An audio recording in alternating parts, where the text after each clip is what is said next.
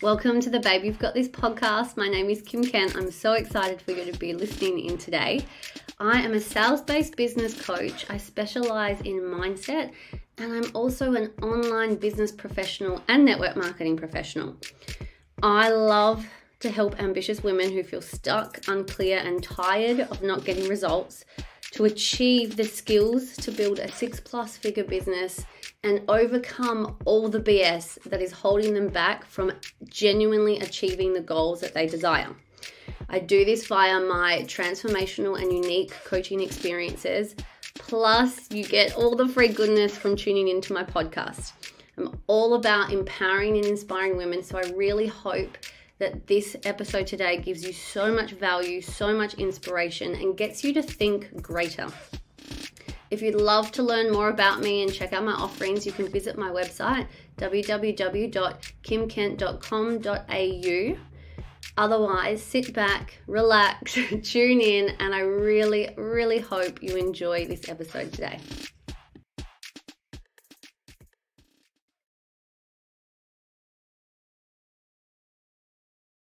Welcome back to another episode of Babe You've Got This. This is going to be a really powerful episode, especially if you actually go and create what it is I'm about to share with you. For those of you who follow me on social media, you would see that I post a lot in my stories about reading my vision statement every morning. Well, disclaimer on that since becoming a mum, it hasn't been every single morning, but I definitely have been reading it as consistently as I can. And I really wanted to talk about the power behind it. Like, what is a vision statement? What is it meant to do? Like, what's its purpose? My experience, my I actually have a really incredible story from one of my clients. They've had the most amazing experience and amazing results from creating their vision statement and I will even share with you the formula to get started. And oh, I just love this. So it was back in 2019 when I first learned about this style of what do we call it? Just this this method, this activity. And it was called a mission statement. Now, it really doesn't matter what you call it mission statement, vision statement. I went through a phase where I called it my empowerment statement. Um, I think at the moment on the typed up version of mine, it's called my empowered vision statement. Like it really does not matter. The idea of it is to state your mission and vision of your life. It's um, my best way to describe it. It's your manifesting. It's your manifesto. It's your hard copy PDF, unless you keep it on the computer, which like I do at the moment. But ideally, you print it out.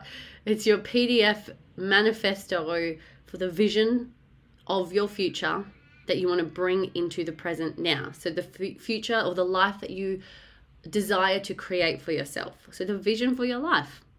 Probably could have just said, it is, it creates the vision. You create the vision for your life.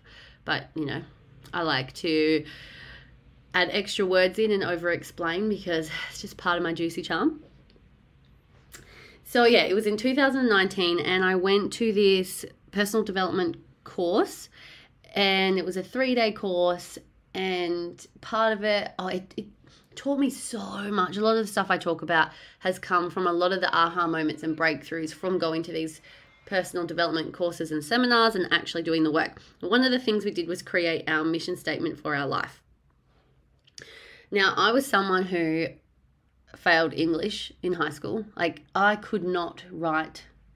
Like, I remember writing an essay once thinking it was the bee's knees, and I failed it because my grammar and my comprehension and context was all off. So, it, it, it really sucked for me because you know you had I had to fit into a box. So when it came to writing this, I'm already having the thoughts in my head like I'm not a good writer. I'm not very creative. This is just going to be boring. And yeah, I already started having the mindset struggles before I even started this activity. But that's why there is a formula that you can follow to create it. And the thing that I learned was you've just got to get it down on paper. And what happens is over time you evolve it. And I'm what now? 19, 20, 21, 22, 23. Wait, we're in 2022. It's only been three years. Gosh, I feel like I've been doing it for much longer. In the space of three years, my mission vision statement went from a one page document to it's now a five page document because it's ever evolving and ever changing. So I now feel like when I read it that it's so juicy and so full of like I, I connect so emotionally to it compared to when I first wrote it, which seemed almost like dot points. But the the point is, it's about getting it on paper. It's about putting it putting your vision down on paper so you can start to bring it into fruition. So I'm going to refer to it as a vision statement going forward. But again, you can call it you can call it whatever you want.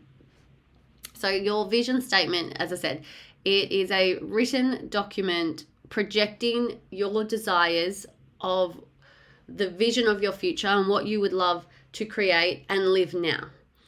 And the amazing thing about it, it's all written in pre- present tense. So you're you're writing it slash reading it as if it's already happened, and you're talking into the different areas of life of what you desire in the nine to ten separate areas of life, which I have talked about in past episodes, and um, working out what it is you want in each area. Because when we set goals, a lot of us, most of us actually only really set goals in a couple of areas of life because when the other areas we're satisfied with, we don't even focus on that. So, for example, I'm an ambitious woman. My goals, my focus of my goals are always to do with finances and career. And I never even consider the family relationships, the friend relationships, the sexual partner relationships, the what else is there? My my health and my my mindset, even though if I think about it and and differentiate and, and compartmentalize, I definitely have desires and goals for every single area. But I'm just driven by, or my focus leads to just a couple, one to two areas of life. So, this is why it's really important because for us to feel an abundant, wealthy life, we want all areas ticking the boxes. We want satisfaction in every area of life. Otherwise, like, we're settling so this is what the vision statement does. It goes through every you you establish and goal set. I'm trying to get the words. goal set for every area of your life, but you're writing it as if it's already happened and you work out will you you establish like what is your superpowers what brings you to the table so it's an incredible self-worth activity it helps you to really embody what it is you want, the energy that you know you need to feel. It helps you bring bring yourself out of the lack and scarcity mentality and get your focus and clarity on where it is that you want to go and, and where you're taking your life, your health goals, your business, your family, your whatever it is. And then there's also the part of it where you you actually state like by this process. So, your mission, how you're showing up, what it is you're here to do, your purpose in life. And by you doing that, what is it that you wish to receive? Like, one of the juiciest things I'll share now that it just, I just absolutely love it. And I know it's getting closer and closer to actually happening is I have always wanted to live in a house with ocean views with soft grass in the backyard. So I even have in my vision statement the house that I'm I will live in, but that you speak as if you're already living there. So it's our next house and the dream house, the family headquarters, where I can feel the soft grass under my feet, the big spacious rooms, gorgeous amount of sunlight, a balcony where I can do my morning rituals, uh, ocean views. I have got these all in my vision statement because that is a part of the vision for my life where I would love to live. So I hope that's explained to you what it is. and I kind of did start sharing my experience, but I kind of went on a tangent as I do. Um, but I want to share the power behind it. Your and if you've already been listening to me or reading the personal development books and, and involving yourself in all of this self human development stuff, you would know how powerful our words are.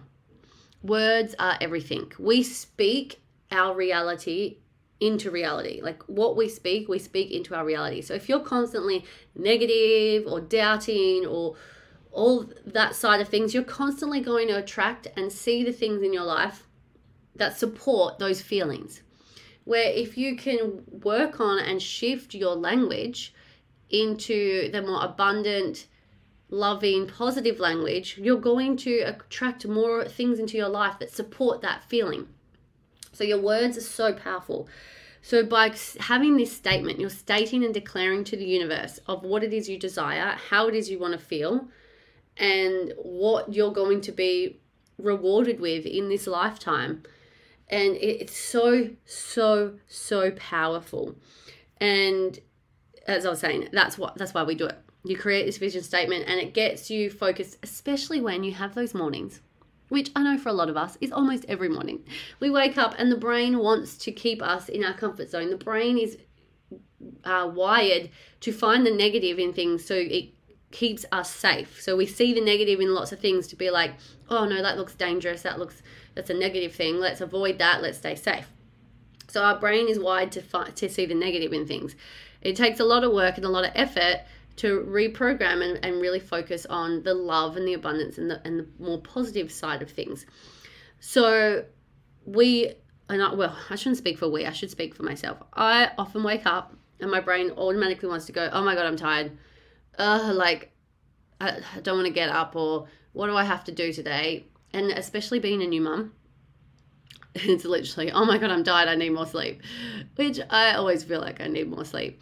So can you see how my brain's programmed to think negatively? So what I do is I read my vision statement first thing in the morning and it grounds me. It gets my focus clear on, on what it needs to be and what I'm working towards and what my purpose is so I can so my actions for the day can follow suit. So I know where I'm headed. And trust me, there are so many times where I feel like I get off track or I get distracted or I'll go out and be and socialize too much and, and feel off track or whatever it might be. I use my vision statement to bring me back into alignment. And when we are in a space and feeling of alignment, we feel clear in our head, so we have mental clarity, and we can see and feel the abundance and wealth and prosperity in our life, which at the end of the day, all of us are chasing because we all want to feel the happiness, the joy, the abundance, the wealth, the freedom, and it's all there, right? But we have to create it for ourselves. So this vision statement is, is literally a statement helping you create your masterpiece life, create the life that you want because you are the master creator of your life. And I talk about this a lot in my episodes. So now I'm going to get a bit sciencey for you. And as you know, I just love talking about the science of things. So again, with the power behind the vision statement, so we have something in our brain called the reticular activating system, the RAS. So what this means, or the best way to describe it is, you want to buy a new car. Actually, this happened to us. I'm going to use me as a first-hand example. We wanted to buy, or we have actually bought, and this was in my vision statement, uh, the new RAV4, the new Toyota RAV4. Ever since Daniel and I decided to buy this car as our next car, I saw one on this road every single time, all the time. And I'm like, oh my gosh, so many people have this car. Why have I not noticed it before? It's because it wasn't in my RAS. It wasn't in the RAS. It was it was oblivious to me because I wasn't focusing on it. But now that it was in the forefront of my mind and it's something I was focusing on, it was a goal that I'd love to achieve. I was seeing them everywhere. And the example that I first heard and was taught to so I could understand this was do you notice when you start thinking about red cars and then you all of a sudden see red cars everywhere? So it's another car example. But you'll notice this. And so the point of getting your uh, using your RAS to your advantage is in your vision statement, you're reading this daily. You're keeping your desires and where you're going and how you're showing up and the feelings that you want to continually feel. You're keeping that in the forefront of your mind. You're keeping that in your reticular activating system. And what's going to happen is you're going to start attracting the opportunities that are going to allow you to keep creating what it is you've put in your vision statement. And the thing is that it comes in some way, shape, or form. When you do manifest, you set out what it is that you would love. It doesn't necessarily mean the universe is going to deliver it in the exact way you expect, but it does come to you in some way, shape, or form. That is one thing I always chat about with my clients is look, you got to set the goal, establish the outcome, but let go of it because it's going to come back to you in one way, shape, or form you just don't know yet but as long as you know where it is you're going as long as you have clarity on what it is that you're, you're wishing to create for yourself so this is the power behind the vision statement. Focus grows where energy flows or energy flows where focus grows. Now i can't remember the actual saying. Oh mum brain.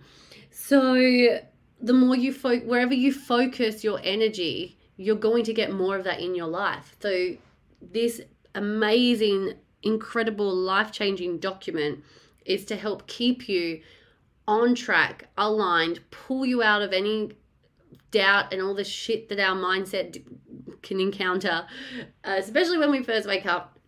And it's a powerful process. So I absolutely love it. Now, I want to talk about my experience more with it. And gosh, it's been absolutely incredible. So I've constantly evolved my vision statement over the years. So it's because I would print it out and I would read it, and then there'll be some mornings where I'll tweak it. So I'll be like, oh, I, I actually want to add that, or I've actually started to achieve this. I, I want to upgrade that or take it out. And don't forget, your vision statement statement is not a to-do list and you tick it off as you go and then it's all done. You want to you can tick things off because you're it's a goal and you're achieving them and you want to keep moving the goalposts and keep expanding because we are growing in life. We're either growing or you're dying. If you tick off everything and not replace it with something, uh, you're going to have a vision statement that then has nothing there, which means you have no vision for your future. So it's constantly ever evolving as you expand and grow. And yeah, my experience has been it literally was a one page, pretty much one sentence per area of life and what it is I love to achieve. And uh, there was a few things in there, especially like the financial goal. And then once I hit the financial goal, I was like, well, I need to expand this now because I've hit it. Oh, what is it that I want to create? What is my relationship like? Well, um, all of this X, Y, Z. And here's one thing. I know I'm probably sounding a little bit all over the place, but I don't really have exact moments where, oh my God, this happened, oh my God, this happened, because it, things were ticking off and ever expanding, but then my self worth grew. And I saw that I was actually worth more and I could achieve more. So I kept expanding and evolving. So I just find it so, so powerful. But one of the things that I had on there that was, um, oh, this was so, so profound. I love it. I had put down that well, what I was noticing is a lot of people in my circle and my audience and my, you know, even friendship circles were really negative. There's just so much negativity or a lot of victim. And don't get me wrong, I can play the victim very well. And the saying goes, you are the top five people you spend the most time with. So whoever you're surrounding yourself with the most, you are your personality and your your thought process and your energy levels are going to match theirs and I, I was noticing I just felt like everyone around me were just this being victim or finding the problem in things. And I noticed I was doing it a lot too. And so in my vision statement, I talked about my friendship circle and who I surrounded myself with. Short story long, because I feel like I've already given you the long story, is I then started having a few friends, like we would have a falling out in a way, or I would say something that was taken the wrong way by them. And I was like, oh, like how how are you being a victim of what I'm saying? Like I'm just communicating, you weren't understanding me. What happened is I had these falling outs in a sense of the relationship ties were cut in a way. And at first the victim part of me got hurt and I was grieving the friendship a bit and then I realized, oh my gosh, I asked for this. I asked to be surrounded by wealthy, ambitious, open-minded, high vibrational, soul-led people. XYZ in my vision statement. And what was happening is I was starting to lose the connections with the people, like they were drifting away with the people who were negative, victimy, the, the energy that I didn't want to keep surrounding myself with. So when I had that realization, I'm like, oh my gosh, I manifested this. This, this is happening for a reason. And it made me feel really good. It's like, right, now I'm allowing space to attracting more of the higher vibrational people because I am vibrating at a higher level now. So that was something that was really, really cool. Um, other things that I have achieved from having my vision statement is certain promotions within my business and uh, um, like holidays and just well the, here was this one right that i really wanted to hit in my network marketing business my next goal was this next position that was a new title that the company brought in and a new and a higher bonus and i was like right that's my next goal now i was in a position with my business with how network marketing works is i had a really really strong leg which meant i had to do a shitload of work on the other legs to actually be able to get to this promotion based on the percentage split you can take from each leg. If you're not aware of network marketing, don't worry about the nitty gritties. If you do understand network marketing, these words would make sense to you. But what happened was I was like, oh, when am I going to hit this? Because I actually am so close numbers wise, but I haven't got the right percentage split between the different legs in my business. So I I can't actually get it as quickly as I'd, I'd, I'd hoped. And what actually happened is I had two people leave the business, which was a godsend and a blessing. But at the time, it shook me because they were two big leaders in my business and they saw that the grass was greener somewhere else and they wanted to jump ship. Side note, jumping ship never works because they, both these people don't even do network marketing anymore. because they tried other companies and never got to where they did in, in the same one that I was a part of. That's like, if they did, awesome, but it just, they didn't. And every time I've seen someone leave a company, uh, most of the time is they end up failing elsewhere because they keep jumping ship thinking the grass is going to be greener in another company in another way. Anywho, I was, I got a bit worried because I was like, oh my gosh, like two big two leaders are leaving. What is that going to mean for my business? That's going to lose. I'm going to lose sales. I'm going to lose X, Y, and Z. But by them leaving, it actually opened up the uh, opportunity for me to hit the next promotion and within a month i was able to hit that next promotion so my point of that example is I set out what it is I'd like to desire to hit this bonus. I need X, Y, and Z. It's in my vision statement. I've already achieved it, blah, blah, blah. Now, that's what I wanted. I thought I was going to get it one way, but the universe delivers in one way, shape, or form, in a way you might not often expect. And that's what exactly what happened. So I thought that that was um, pretty cool because at the end of the day, I asked for it and I, it was delivered and it was in my vision statement. So it's just such a powerful, powerful tool. And right now, my vision statement, I couldn't be more proud of it. Where it is to the day right now, we are in, as I say this, it is May 2022. And I now have a baby. Uh, I'm now a mother. So my vision statement has even evolved more. And my vision for my life with a fa- having a family that I've created myself, it actually just gets my juices flowing. and I absolutely love reading it. And the mornings where the self doubt does creep in and the scarcity does creep in, I get straight into reading this and set and remind myself exactly where I'm going and why I'm here, and tapping in and attuning in to how it is I want to feel. So, two more things. I want to share with you my client experience and also the formula for it. So, this is just mind blowing. I have one of my gorgeous clients. Her she started working with me six months ago. We've just wrapped up our six month coaching, and she came to me for life coaching. um, I usually attract uh, business coaching because it's life and mindset, which is so is your business is your life anyway. But she came to me for life coaching, and she was like,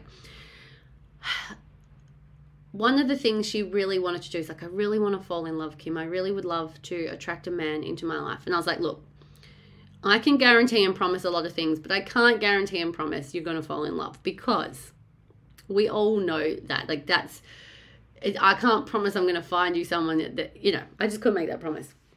But the other things about um, getting a house deposit saved, getting her money in order, helping her health, helping her self sabotaging um, voices, and her the self doubt mindset, I could definitely reverse and change and work with all of that.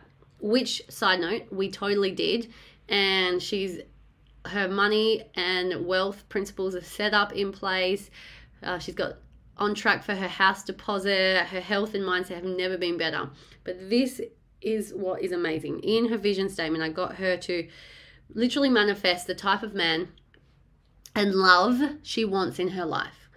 And it wasn't about describing his six foot tall with brown hair, blue eyes, blah, blah, blah. I'm like, no, it's you need to describe the type of relationship that you're after. What is it that you want to feel? How, what is the dynamics? What, um, what are the boundaries? All of that stuff. And she did this. I kid you not, and I got her to read it every single day. She actually recorded it and listened to it every day and evolved on it. And within two months, she's like, Kim, I met this guy. I was like, oh my gosh, tell me everything. And she's like, we've only been on one date and I'm not giving I'm not wanting to get ahead of myself, but I'm definitely wanting to learn more about him because he ticks a lot of my boxes.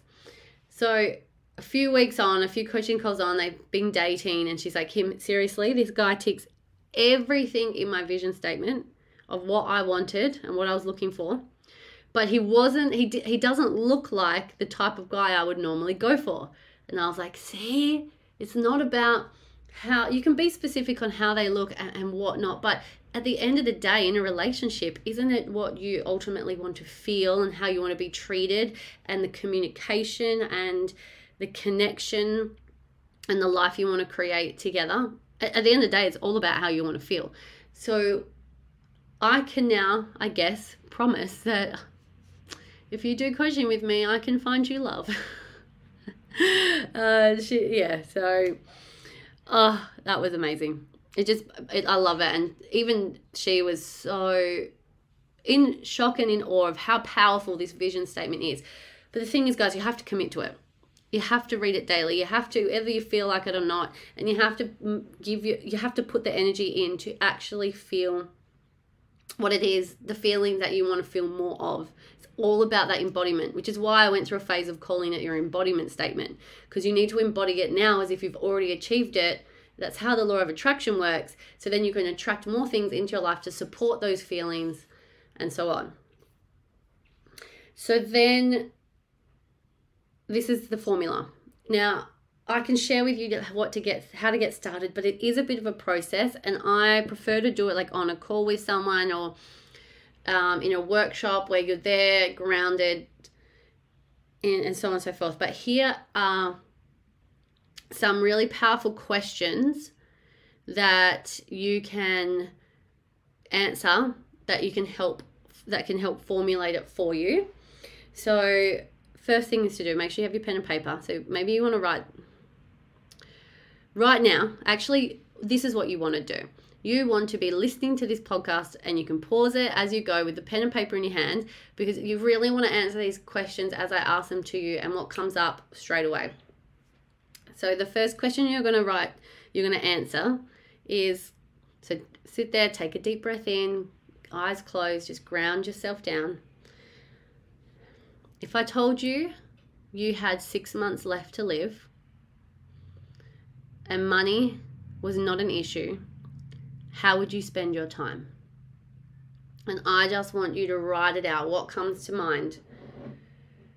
So that's a very powerful question there. You can obviously pause it and spend the time doing that. Then the next lot of questions are you want to ask yourself, what are your superpowers? What are you really good at? Or what are the things that you would love to be even better at? What do you bring to the table? So write them all out. Um, what is it that you love spending your time doing? So save money. You're not going to die in six months, okay? Just let's retract that now. Another another question to answer: If money and mindset, you have freedom with money and mindset. There's nothing holding you back. No time limitations. No money. No mindset limitations. What would you spend your time doing? Write it all out.